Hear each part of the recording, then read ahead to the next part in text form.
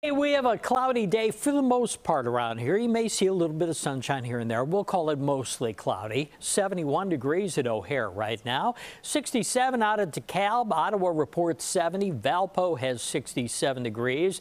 Everybody's looking at clouds for the most part. There are some holes in the clouds here and there. Winds are calm at O'Hare currently.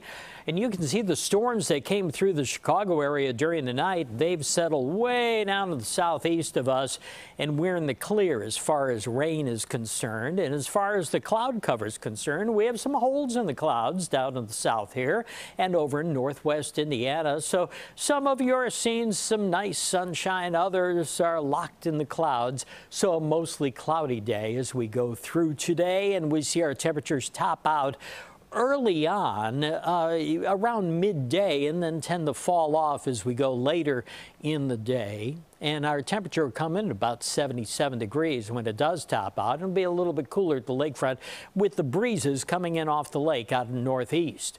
Tomorrow, we're going to see really some sunshine with clouds. We'll call it partly cloudy skies and temperatures that come in very much like today. Today 77, tomorrow 76, and again a little bit cooler near the lakefront with that breeze coming off of Lake Michigan. So 77 degrees today, followed followed by the 76 tomorrow with more sunshine than today.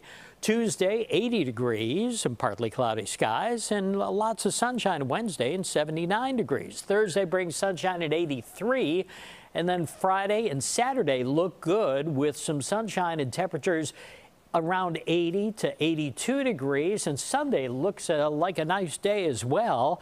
At least that's the picture the models are painting right now and this weekend is the Air and Water Show so that's good news for that.